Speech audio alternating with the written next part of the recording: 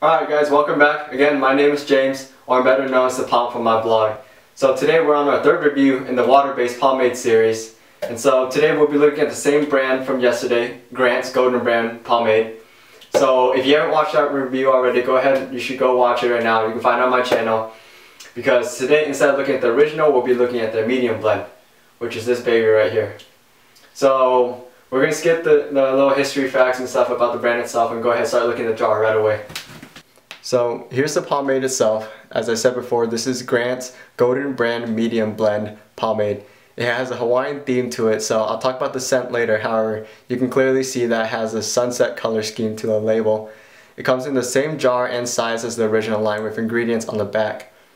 Now, I really appreciate this out of Grant's. If you guys could read the ingredients right now and or you guys were able to compare, you actually see that the original line is very different from the medium line. It's like a new formula. What I don't like out of a lot of companies is when they make a, like a lighter blend or like a heavier blend, all they really do is add water or take a little bit away or when it comes to oil based they just like add a little more petroleum or they actually just like add a little bit more wax. It's still the same formula. But I really appreciate that Grants went a like the further like a further step and made a new formula for the medium blend. So if you guys open it up, it has a similar appearance to the original line. So a similar color, slightly more yellow, but if you guys could tell, it's also, it's a lot smoother looking and just by looking at it, I kind of sense that it's not going to be as strong. It's going to be more of like a, as it as it's described, a more medium blend, a, a slightly lighter blend. So, all right, let's go ahead and get started. All right, guys. So, as you can see, I have nothing in my hair, and it looks fucking terrible. This is because I want to give every single pomade a fair review and start off on the same spot, which is the best case scenario, with your hair dry. So as you can imagine, when you're using water-based products, if your hair is wet, if you have water in your hair, you're already taking away from the product strength and hold by diluting it. So if you want to utilize the full strength of any water-based pomade, make sure to start your hair dry. But anyways, we'll go ahead and open the jar now. The medium blend has one of the best smells of any pomade I've ever owned. So I would describe it as like a very a pina colada smell. However, take a little bit less coconut and, a, and like a good amount more um, pineapple. And this is about the smell that you should you're you're gonna get out of this product. Anyway, let's go ahead and start with the application. So right out the bat, just look at that. I've never seen a more beautiful scoop in my life. I mean, So right now this is reminding me about uh, Suavecito Original. So honestly with the original Suavecito I did have problems styling with it because of a lack of strength. However, even though this does remind me of the um, Suavecito Original right now, while I like take it, when I like bring it through my hair, I notice it's still a lot, has a lot more grip than what I remember with Suavecito. Oh yeah, I forgot to mention this. So I'll be trying to compare mostly to uh, Grant's original this time, since uh, it's probably the safest uh, baseline to take to uh, for from reference for referencing uh, the characteristics of this pomade. But yeah, I think this will be the last lick I take of it.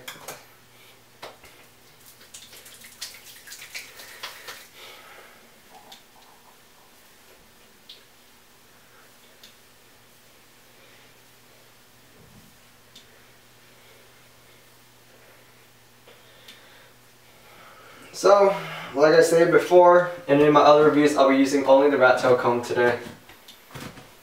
So I'm going to go ahead and slick everything back now.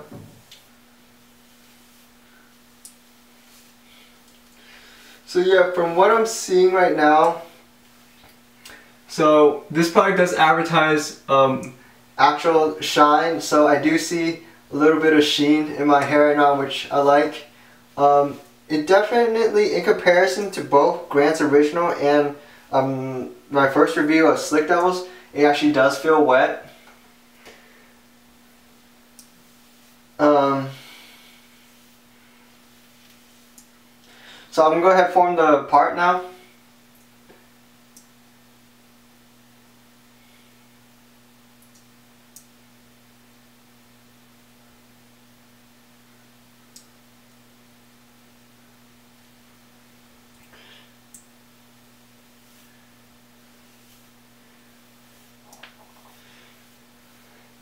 Another feeling I'm getting out of this thing is uh, definitely the holds not as strong as original as expected.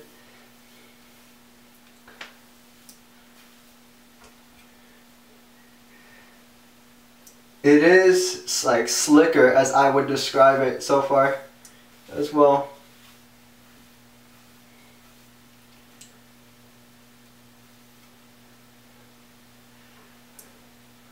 So the sides are like adequately tight. It's not as uh, tight as Slick Devils, but it, it is. It does seem to be uh, tighter than the original line right now.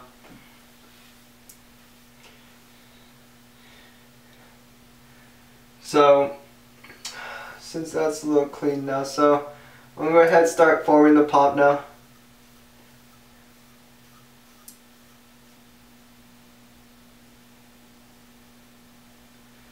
Alright guys, I think I'm about done.